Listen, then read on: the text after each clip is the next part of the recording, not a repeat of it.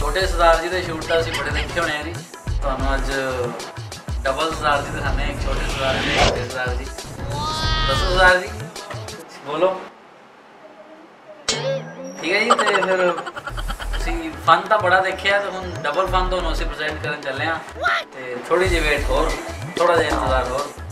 Rolling train entertainment ਜ਼ਿੰਦਾਬਾਦ ਤੇ ਕਮਲ dairy ਸੇ ਜ਼ਿੰਦਾਬਾਦ ਹੈਗੀਆਂ ਹੀ ਆ। ਤੇ ਬੱਲੇ ਵਾਲੇ ਚਲ sooner bottom that a whole team.